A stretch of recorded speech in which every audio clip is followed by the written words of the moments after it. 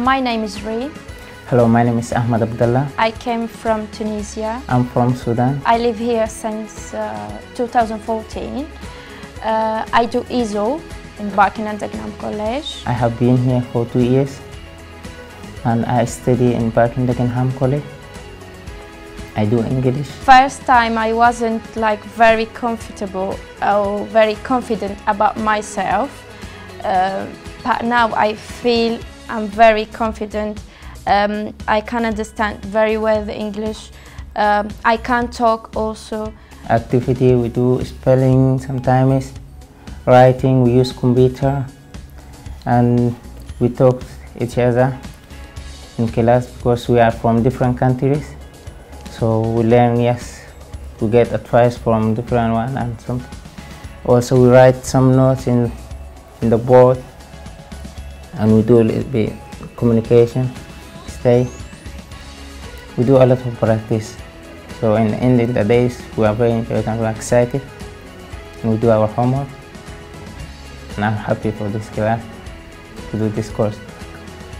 So our learners come from a variety of countries and from a variety of backgrounds. They sometimes come here with very little English.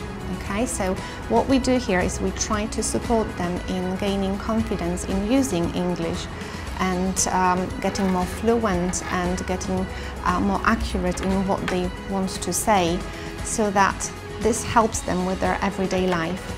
So we do classes at two different campuses. So one of them is Rush Green campus and the other one is at Barking Learning Centre in Barking.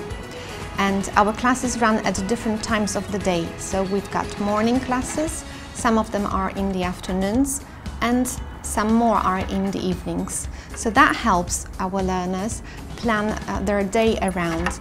It helps them plan their childcare and um, or any commitments around work. We do a lot of activity in the classroom, um, like uh, grammar, reading, spelling, um, writing, sentence, how to make sentence, um, how to make uh, email.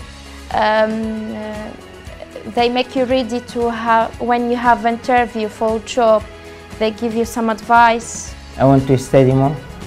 Uh, when I improve my English also, I want to start to work and also I want to do course uh, electrician. First of all, for myself, uh, second of all, uh, for my son, to help him to for his homework, whatever.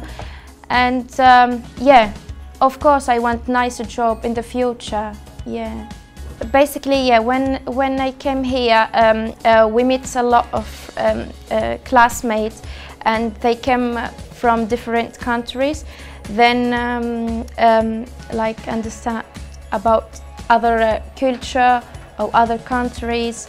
Dream to want to do electrician because this is my dream. When I back home, I have little experience about electrician. So I, I found here safe place and good. Uh, my teacher, they help me, said me, yes, you're good at this. You must improve and you go.